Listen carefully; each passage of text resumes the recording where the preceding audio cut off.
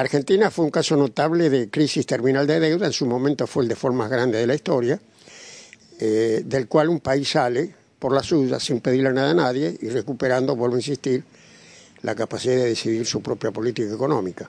Bueno, después viene todo el desarrollo posterior, el crecimiento de la economía y la aparición de tensiones, eh, pero que de todas maneras eh,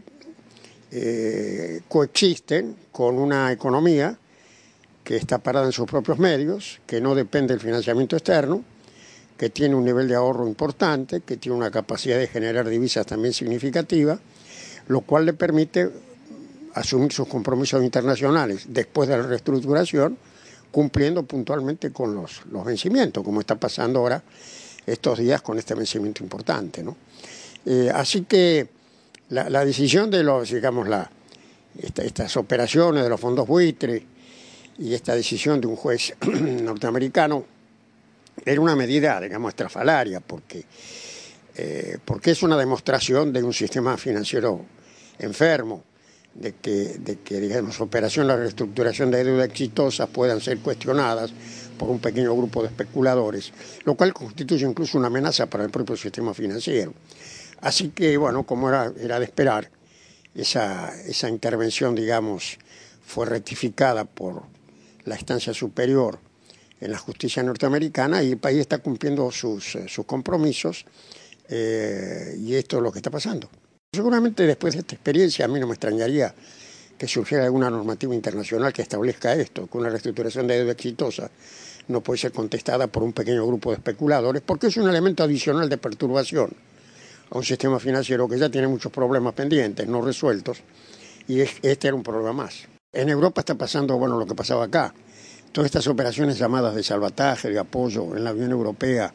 a los países europeos endeudados, no es para, para reestructurar la deuda, es para que los acreedores no pierdan nada y sigan cobrando a costa del aumento de la deuda y del ajuste de los países endeudados a un costo social y económico extraordinario. Argentina cometió la anormalidad, la anormalidad de venderse empresa petrolera. Entonces, cuando la recupera, aparece toda una crítica de costas contra la inversión extranjera, cuando en realidad lo que el país está haciendo es volviendo a la normalidad, lo que otros vienen haciendo hace mucho tiempo. Pero de todas maneras se plantea como un país que introduce restricciones al comercio, a la compra de dinero, a las inversiones extranjeras, eh, que el tema de la deuda. Entonces se configura un escenario de opiniones que en realidad no es lo importante, porque si nosotros consolidamos la situación interna, podemos funcionar muy bien. Y en definitiva esa opinión va a terminar cambiando cuando el país demuestre en un periodo más prolongado de tiempo de que está parado en sus recursos, que es responsable, que crece,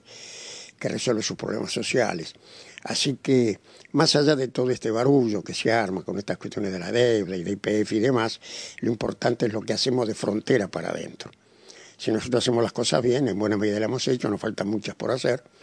yo creo que podemos ubicarnos en el mundo de una manera dinámica. Lo estamos haciendo claramente nuestra posición en América del Sur, la relación con Brasil, en, una serie de espacios, Argentina tiene un protagonismo internacional